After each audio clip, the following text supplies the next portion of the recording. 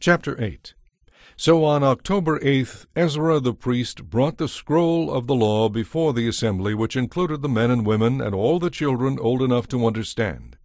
He faced the square just inside the water gate from early morning until noon and read aloud to everyone who could understand. All the people paid close attention to the book of the law. Ezra the scribe stood on a high wooden platform that had been made for the occasion. To his right stood Mattithiah, Shema, Anaiah, Uriah, Hilkiah, and Maaseiah. To his left stood Pedaiah, Mishael, Malkijah, Hashum, Hashbaddanah, Zechariah, and Meshullam. Ezra stood on the platform in full view of all the people. When they saw him open the book, they all rose to their feet. Then Ezra praised the Lord, the great God, and all the people chanted, Amen, Amen, as they lifted their hands toward heaven. Then they bowed down and worshipped the Lord with their faces to the ground.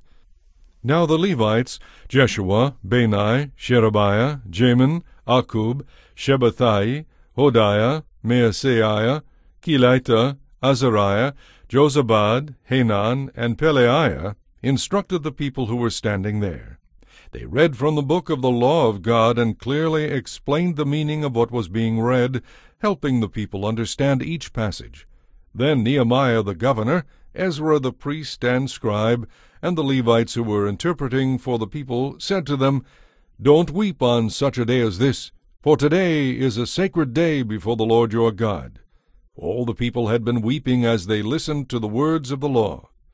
And Nehemiah continued, Go and celebrate with a feast of choice foods and sweet drinks, and share gifts of food with people who have nothing prepared. This is a sacred day before our Lord. Don't be dejected and sad, for the joy of the Lord is your strength. And the Levites too quieted the people, telling them, Hush, don't weep, for this is a sacred day. So the people went away to eat and drink at a festive meal, to share gifts of food, and to celebrate with great joy, because they had heard God's words and understood them.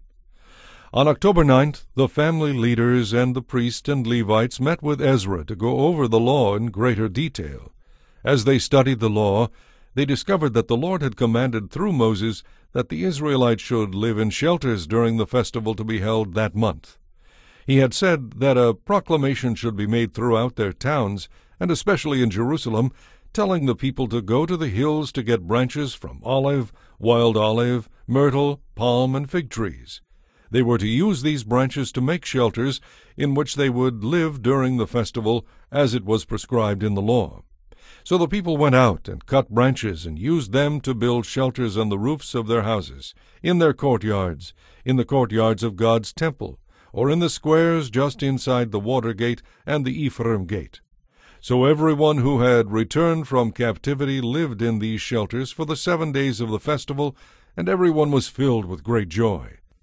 The Israelites had not celebrated this way since the days of Joshua son of Nun. Ezra read from the book of the law of God on each of the seven days of the festival. Then on October 15th they held a solemn assembly, as the law of Moses required.